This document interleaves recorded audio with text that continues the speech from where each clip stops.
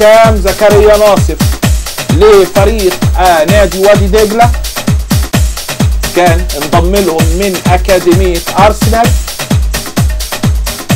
مالدينوف المدير الفني لفريق آه لإنبي كان عايز يضمه من سنتين وهو لسه تحت 17 سنة للفريق الأول. وعلى فكرة بيحب رقم سبعة لأنه بيحب بيكام وكريستيانو رونالدو.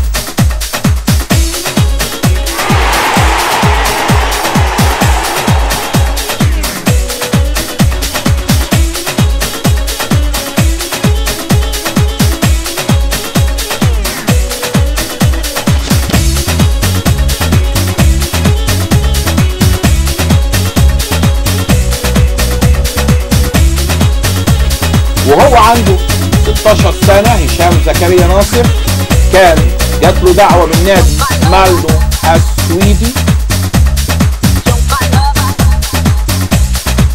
والصيف اللي فات كنا في رمضان راح لنادي ريو افي اللي بيلعب فيه أحمد كوكا.